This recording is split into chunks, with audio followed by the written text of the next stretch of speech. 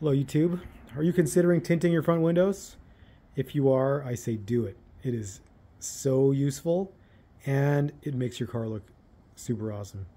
This came with the same tint. It came with this tint. Here, back window, rear window. That's the only place that had tint. And the front window, the driver's side side windows, that was the same as the front windscreen.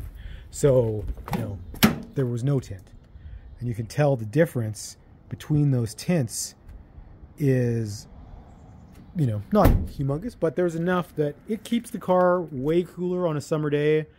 It is, you know, mean, it looks more symmetrical when you look at it from the side.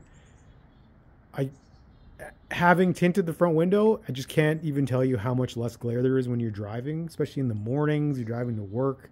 It's just way less sunny in your eyes. You know, you still probably wear sunglasses for the sun coming in the front window, but just the lack of, of sun coming in the side windows is uh, is quite nice. So if you're gonna tint, you're thinking about it, do it.